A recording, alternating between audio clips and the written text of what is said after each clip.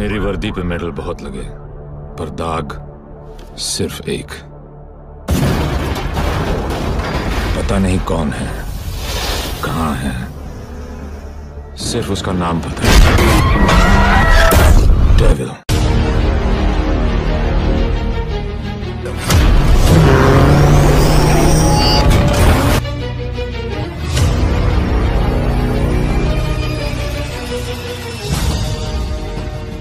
किस तरह body double को ही लगी चोट। कैसे साजिद और सलमान बनाते हैं ऑडियंस को बेवकूफ़। नमस्कार दोस्तों, मैं आपकी होस्ट और दोस्त तोशीन आपका स्वागत करती हूँ आपके ही पसंदीदा चैनल बॉलीग्रैड स्टूडियोज में।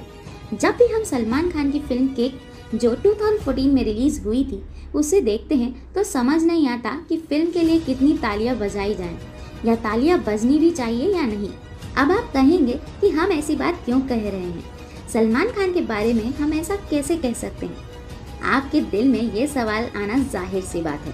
पर क्या है ना, इसके पीछे की वजह भी कुछ ऐसी ही है।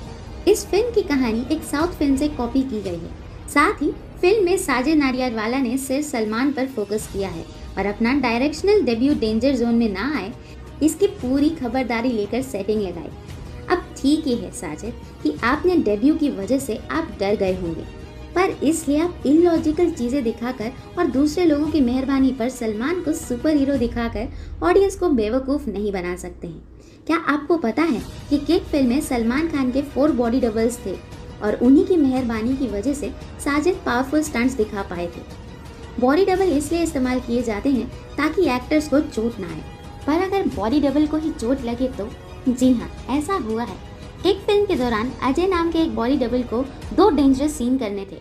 इसमें रेलवे ट्रैक के आसपास एक घर किराए पर लिया गया था और अजय को इस घर के फ़र्स्ट फ्लोर से रेलवे ट्रैक पर छलांग लगानी थी, पर वो सीन अजय नहीं कर पाए।